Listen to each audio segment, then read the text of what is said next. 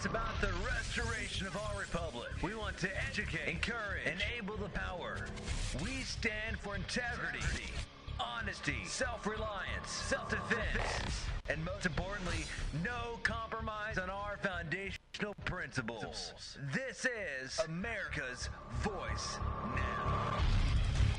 Find America's Voice Now on Facebook and at americasvoicenow.org. Here's Michael Evans.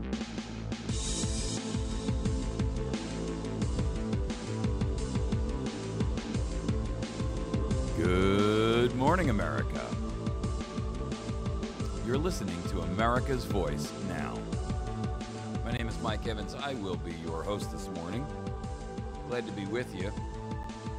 You know, we've um, been covering some issues over the course of the last couple of days that um, were kind of interesting, not the least of which is this VA debacle that we've been dealing with. But, you know, it's very interesting because the other day we had a problem with the with the VA in reference to all of the challenges that are associated with, you know, the betrayal. And the the Senate yesterday tried to pass a new piece of, of legislation that would f- effectively have made and, and and here's what you have to understand. The rub here is that it would have effectively changed the law or and the rules to allow people who are uh, malfeasant in their job function to actually be fired. Now, most of us who are in the private world and not in the public employee arena look at that and say, Excuse me? I'm not sure I understand what you're talking about. Well, for the record, you can't be fired if you're a federal employee. That's what the reality is. You cannot be fired if you're an employee. And so the issue is sending a text message because we're trying to get our phone lines functioning. We've been testing a new phone system. And uh, so here's the reality, folks. You cannot be fired if you're an employee of the federal system. No matter how bad your no matter how bad the treatment of the people that are your patients, no matter how bad the behavior of you as a as an employee, no matter how bad. Now, yesterday, Bernie Sanders came out and he stormed out there on the Senate floor and he said, "We've we cannot pass this bill because we have not been able to read it." And most Americans said, "Yeah, that's right, Bernie, go for it." Ladies and gentlemen, the bill was only 3 pages long. Two and a half if you strip off the header.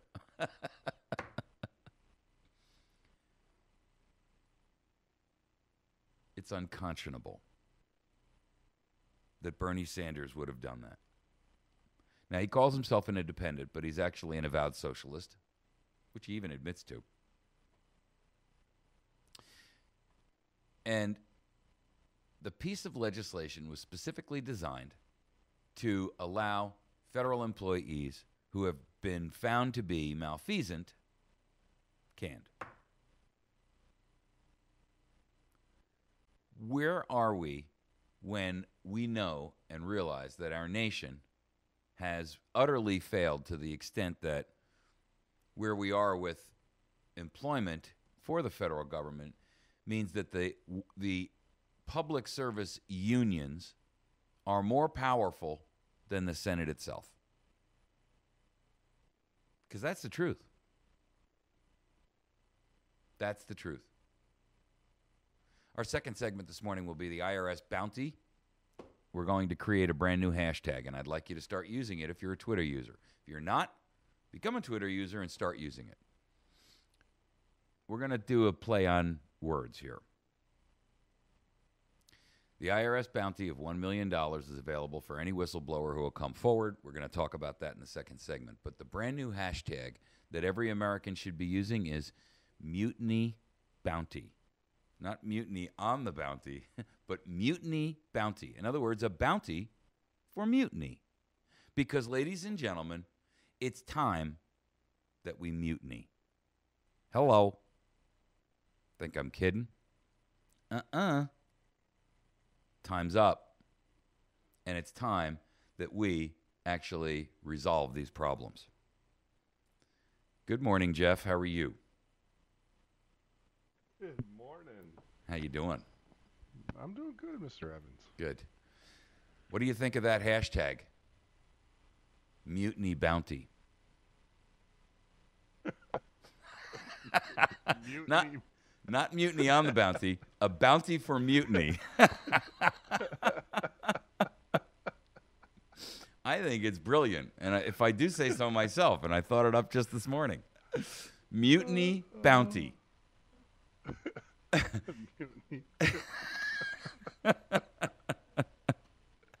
I think Oh, it, that's I, good. I think it's workable. It's easy. Everybody can remember it.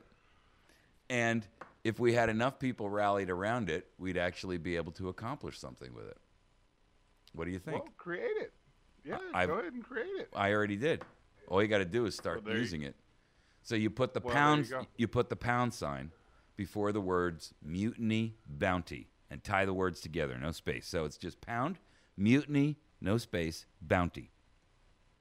And that way you can send out any message you want there, including a link to the website where you can go, which by the way I, I'll give you guys uh, when we hit that that se- that segment. But the point is, if we don't start to take control of this thing in some way, shape, or form, then you know, for all intents and purposes, we've got to we've got to just kind of conclude and admit that it's over and it's done with, and we've lost.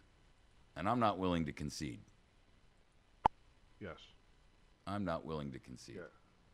You know, and, and uh, that's the thing. I mean, we have couch potato uh, patriots. I mean, that's that's Our founders called them Sunshine Patriots. sunshine. Pa- there- They were strong when their sun, when the sun was shining. They were out there. Yeah, we're go- we're fighting for it. Rah rah rah. But when it really came down to it, Oh yeah, Um, it, it's kind of like you know, I, I I tell my friends all the time that you can't complain about the government when you don't go vote yourself. right? You know So- Exactly. So, it, it, that's the first thing I ask is that you know, did you go vote?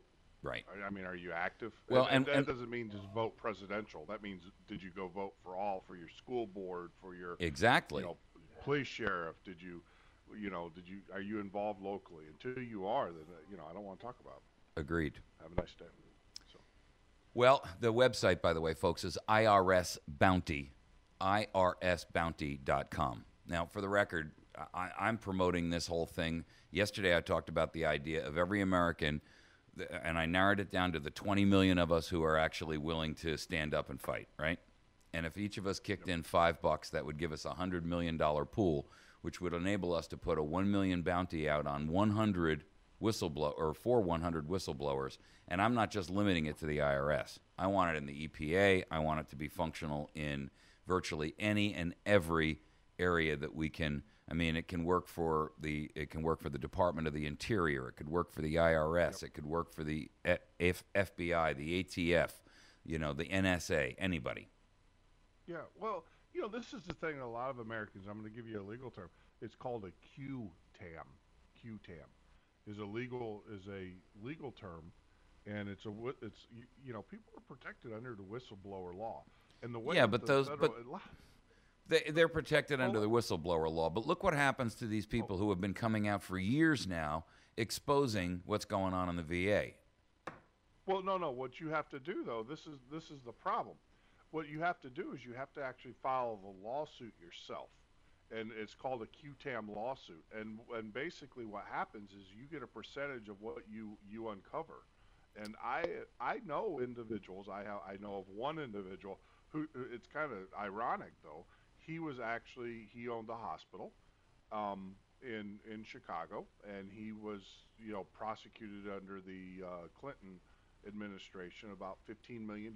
His hospital was fined for inappropriate uh, billing of Medicare, Medicaid patients, which, it, you know, it's kind of crazy. They, they, it was, it was well known that it was a, uh, a government fundraising effort by Clinton uh, because they got everybody. They got every hospital. They said, "Oh, you guys have been billing Medicare, Medicaid wrong for the last five years," and it was across the board fine. So it just wasn't.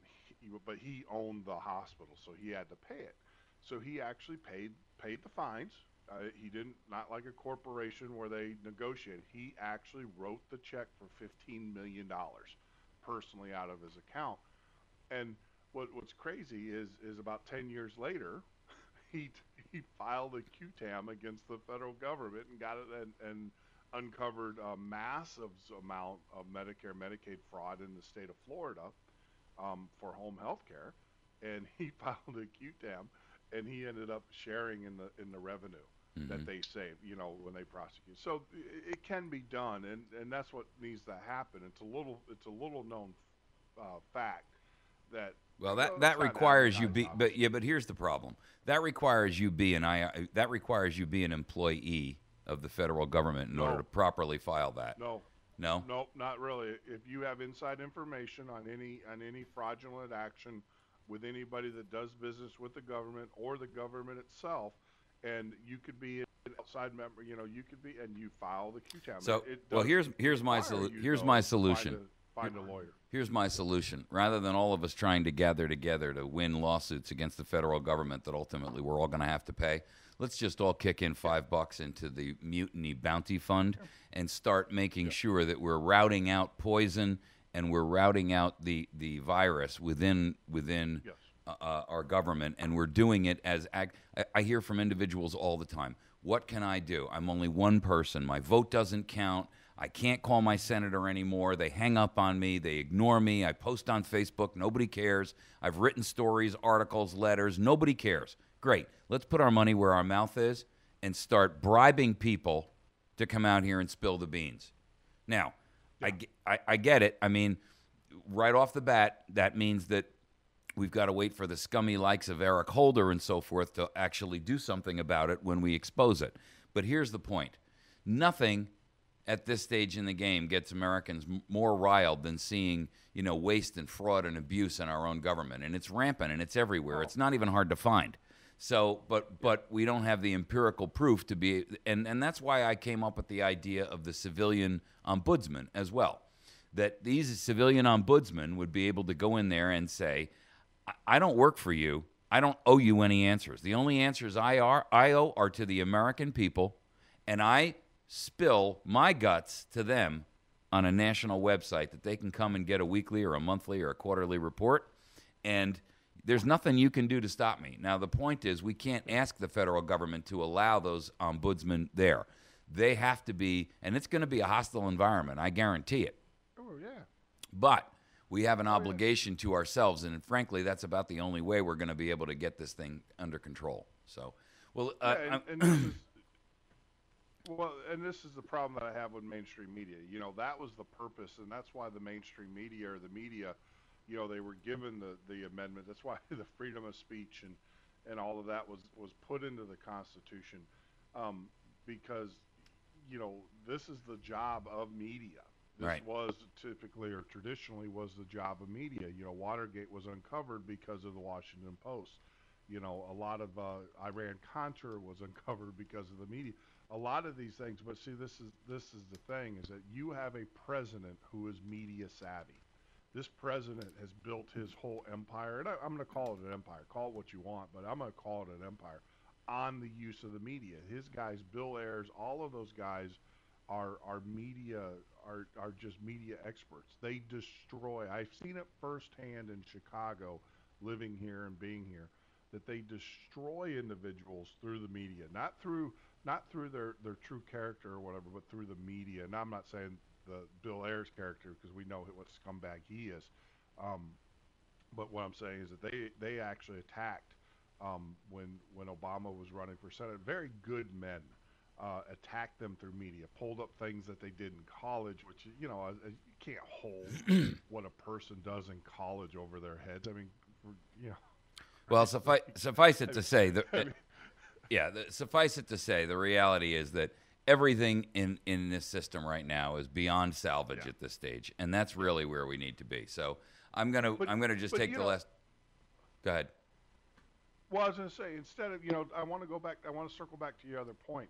Um, you know, there's a bet on. I mean, as as everybody knows, or people that, that know me from from being on some of the other shows, you know, we're moving to Florida. There's a bet on how quick um, I'm going to become the mayor or the or the sheriff in the new town that we're moving into. Um, I say two years, but I mean to the point to that point, what I'm telling people is, you know, if you've thrown up your hands to to what goes on in Washington D.C., which I understand that because I pretty much have too. That doesn't mean you know you still have local government. And if you really want to affect change, get inside the local government. That's easy to do. That's not hard. Um, it, it's it's it, it requires you to get off your butt and do something, but it's not as difficult, obviously, than running for as a Senate seat or a House Republican or a House a House Republican, Yeah. House seat or whatever. But you know, get into your local, get into your school boards, get in, go to your local meetings. Do that. You know, those positions open up pretty much every two years, and and most citizens can run. Once you're into those positions, then you can start influencing change. When the federal government comes to your sheriff's department and says, "Look, we're going to give you a million dollar grant, but you're going to have to buy this militarized vehicle and everything," you, if you're sitting on the board of your of your local community, can say, "Well, wait, we don't want you here." You know, we don't want. And you know what? When you start when you start, um, you know, turning away their money and they're you know like a drug you know they're drug dealers that's basically what they do they get communities hooked on the on the federal money and um, and you start turning that stuff away you're going to start influencing change people are going to start taking notice and uh, you, you'll see you'll, Well, and that's po- all politics is local, and- government's afraid of. That's the only Yep, way to. That's the only way to control it. There's no doubt about it. So Yep, absolutely. So you take care, my friend. You have a great day. thanks. And uh, I, I love the new the new phone system. I love the fact that I can talk to you. I, it's awesome, I, and we've had struggled so long and so hard for, to try to make phone systems work that we could rely on, and it's been it's been nothing but problematic. And this is just an this is an absolute blessing. So I'm I'm thrilled with it. Thank you. So All right. Thank all you. right, we'll talk to you soon. Yep. Folks, uh, the, um, if you'd like to call into the program, you can. It's 573 453 5505. That's 573 453 5505. Um, all right, so our first segment is this three page uh, VA accountability bill was blocked by the Senate. I mean, that's an absolute outrage. Our second issue is the IRS bounty for information and the new hashtag pound mutiny bounty. Our third segment is going to be federal land takeovers that leave our borders wide open. Many of you or may or may not be aware that the federal government is going to be leading or, or driving a brand new designation for a uh, massive land takeover that uh, a new national monument that is going to uh, cover a vast hu- uh, territory that by the way is bumps right up against the border but it prohibits and blocks all access to that federal land including from law enforcement not to mention the fact that it bars access to that land for things like drilling and access to the natu- natural resources blocking pipelines and so forth and so on uh, so we're going to uh, address that in our third segment. And in our fourth segment, Secretary of Defense Hagel came out yesterday and said what we all know has been going on, but really haven't actually had the opportunity to hear right out of the horse's mouth. Did I pause there just long enough for you to get the gist? I got you. Here's what he had to say. He admits that the New World Order is being built, and I'm going to let you hear it right out of the horse's mouth. All right. Here's the real challenge, America. Whether or not you, you recognize how far you know we've come on this thing, we are at a time uh, in in terms of being able to take back our country, and and frankly, I, I don't know what people are waiting for. This issue here of of of the uh, Senate refusing and blocking this bill that would increase accountability, and, th- and this is only the Department of the VA. This wasn't for all federal employees because, again, remember, you can't sue. I mean, you can't um, fire a federal employee. It's almost impossible.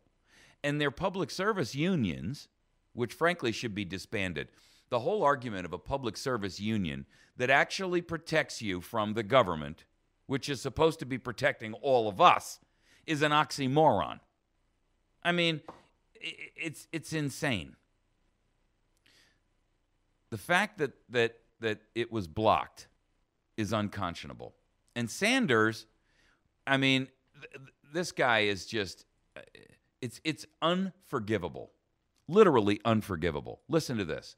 This is 30 We need to step up to the plate to help not only our veterans but their families. And that's the legislation that I have authored. So, what I say to Senator Rubio, your legislation has many important provisions which I happen to agree with. There are some that I think need work on, and we are going to hold a hearing on that legislation and other legislation in early June. So, I- blah blah blah blah blah. We're going to hold another hearing. We're going to accomplish nothing. Meanwhile, we had a three de- we had a three page bill that could have resolved the problem of at least allowing us to be able to fire people who are dealing drugs, beating on patients, refusing to take care of patients, and he blocks it. He blocks it with the argument that no one can argue with. The Senate hasn't had a chance to read it. The only problem, ladies and gentlemen, it was only it was only a three-page bill. They could have read it from the time they left their office, walking in the hallways and standing in the elevator, to the time they actually had to go vote. You see, this is unforgivable. And I got to tell you, this thing with Sanders, this was a setup. A bunch of Democrats voted for it in the House, but they knew that Sanders was going to block the bill when it made it to the Senate. So it was a gimme vote. It was a freebie. They knew that the bill was never going to get passed. But now they can go home to their constituents and say, well, I voted for it. It's all a sham, ladies and gentlemen. And frankly, I don't know about you, but I am just sick to death of shams, lies, betrayal, and, and Americans paying the ultimate price. Not only our veterans uh, who are paying the price in pain and injury and, and, and the decline of their physical health, much of which was caused by the actual military and the government itself that is supposed to be taking care of them. I mean, it's it. Okay, we're out of time on this segment. I, I'm just, man, I tell you what. Uh, when we come back, we're going to talk about the IRS bounty for information. Do yourself and me a favor. We've been trying to raise some funds here on America's Voice Now. You can donate directly on our website at americasvoicenow.org through PayPal. You can also mail us a check if you prefer or a money order. We are we are uh, desperately in need of your support and your funding. You can mail it to America's Voice Now, PO Box 1195. That's 1195, West Plains, Missouri 65775. Or you can go to our website at americasvoicenow.org. Use it. Use PayPal there. In addition to that, you can also go if you're in need of if you're in need of a resume tune-up, you can go to americanresumeservice.com. americanresumeservice.com. There, you can get their $200 resume package for $100 and they will donate the whole $100 to America's Voice Now. So can you can get yourself a brand new refreshed and cleaned up resume with all the pertinent facts that are currently being looked at for jobs. And uh, let's face it, the job com- the job uh, arena out there is very competitive. And at the same point in time, you can help support America's Voice Now. It's a win-win situation. We're going to take a quick break. Make sure that you visit our friends over at uh, uh, Battery Station. You can reach them at batterystation.com. Batterystation.com. Uh, you can also call them at 417 257 7799, or you can visit them at 303 Washington Avenue in West Plains, where you can find everything for batteries and everything for your bug out bag, your survival needs, your long term self reliance needs. They are an outstanding company. We'll be right back.